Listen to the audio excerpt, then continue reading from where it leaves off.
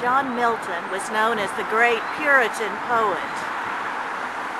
As long as Oliver Cromwell was in charge of the government, Milton had a secure government position. However, with the restoration of Charles II to the throne, Milton and any other Puritans were, of course, out of favor.